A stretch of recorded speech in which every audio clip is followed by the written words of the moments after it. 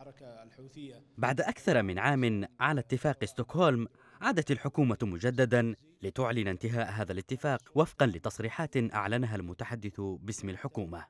متحدث الحكومة قال إن التصعيد العسكري الذي حصل في نهم هو ما أنهى هذا الاتفاق وعمل على إعلان وفاته بشكل نهائي ورسمي.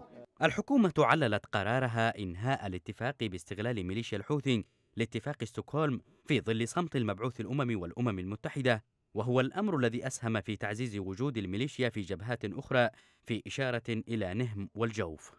تأتي تصريحات المتحدث باسم الحكومة عقب ساعات من تصريح لوزير الخارجية محمد الحضرمي.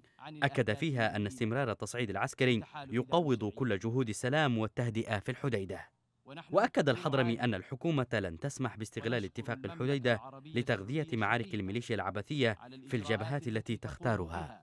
بموازاة ذلك لا تزال المعارك مستمرة منذ نحو أسبوع بين الجيش الوطني وميليشيا الحوثي في جبهة نهم وصرواح وجبهات الجوف وغيرها من الجبهات الواقعة في مناطق نفوذ الشرعية فيما تنخفض العمليات العسكرية بوضوح في جبهات الحدود.